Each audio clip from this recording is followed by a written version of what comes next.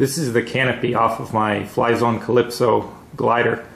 I pulled it off just to show how the GoPro camera is mounted.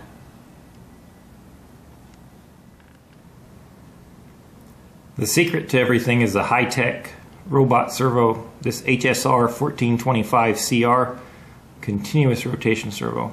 That allows for the 360 degree evolution.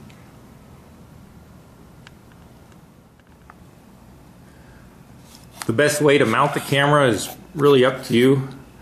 In this situation, I mounted it to an aluminum plate, and then the plate gets screwed onto the servo. That's the lightest, most compact way. You can also use the regular supplied mounts that use the GoPro case. They're fine. It's it's heavy, uh, but I'd use that for float planes and stuff that's going to get wet.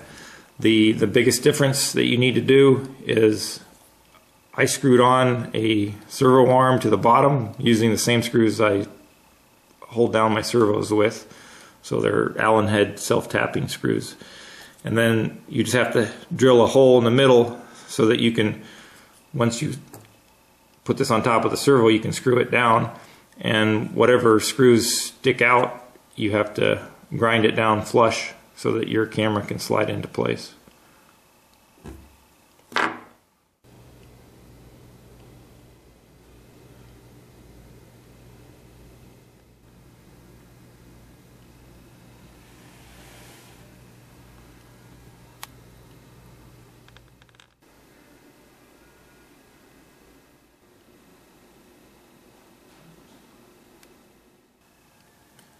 To start out, we're going to go into the memory of the radio to the system setup and change wing type. It's going to depend a little bit on what you have, but normally let's say you'll have a wing type normal.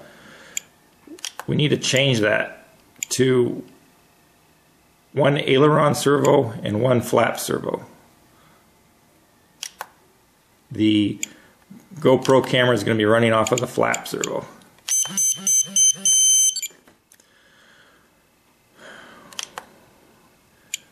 Then we'll go down to the flap system. On the DX7, 8, 18, those radios, your flap has three positions. I like to make the up position the camera turning left. So we'll change that number to a negative number and slowly increase it until you can actually hear the the camera start to spin. There it goes. You want to have a very small number. If I increase that number too much, this camera is just going to spin too fast.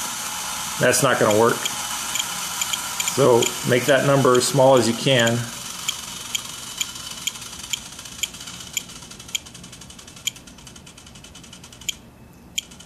In this case, it's negative 8%. Mid position, I'll leave it at zero. So the middle position is going to be a stop.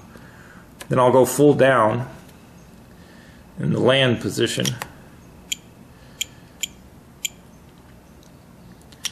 And these numbers I want to be positive because I want the camera to rotate the other way. So slowly rotate them until it starts to move. So that looks like about 6%. So at 6% I'm getting the camera going around. And it can be spinning at any time I can stop it in the middle and I can go back to spinning the same direction or hit the middle stop and then go the opposite direction to have it spin that way.